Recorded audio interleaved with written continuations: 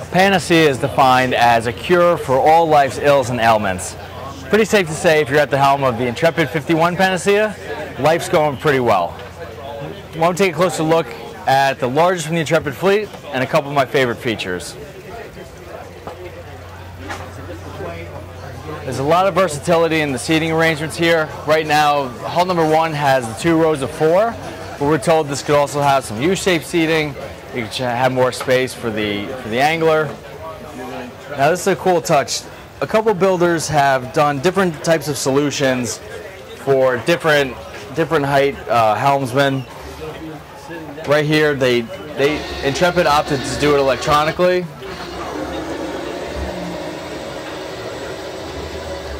Again, these, these boats are really made to perform. I doubt you have very, you have no issue with bow rise, but again, you know, with, with different different heights. It's uh, it's a nice option. Make our way forward.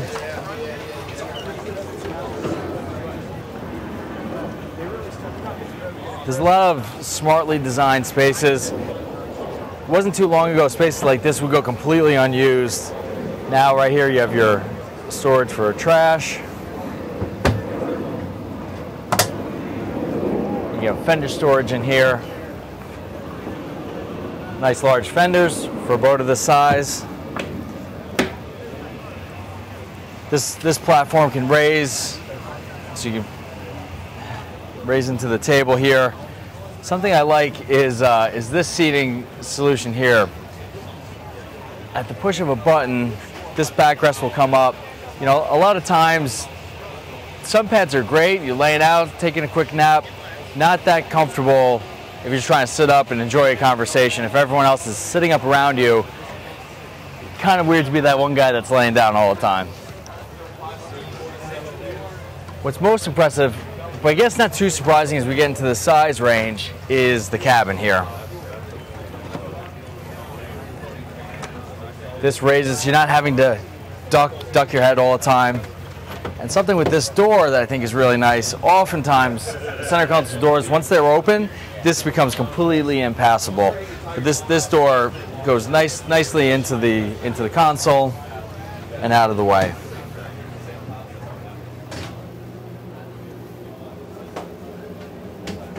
About about 6'2 on, on a good day, and you can really see headroom's impressive. This table will lower, it can be a berth. I actually like that they have the designated spot here for these fill cushions. And also really great height in the head.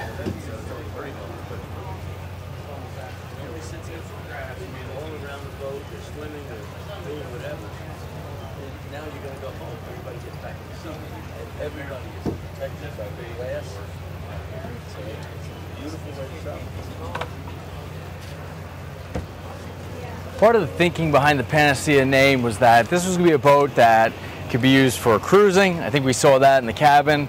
It's ready to go to the sandbar, but it's also equipped to fish hard. So it's, it's really aimed at, uh, at having that diversity.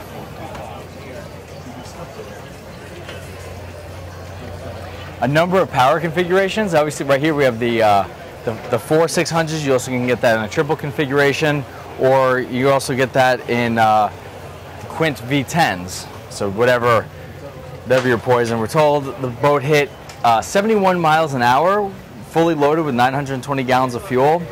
And with that two of the four engines trimmed up, it still was able to do 40 miles an hour. Pretty incredible. Again, a lot of custom options here. You have this rig to fish, and you have the versatility in the, in the cold storage. This one, cold storage, and on the cooler garbage, but this could really be customized. Intrepid's known for doing a ton of customization. This was a nice touch as well.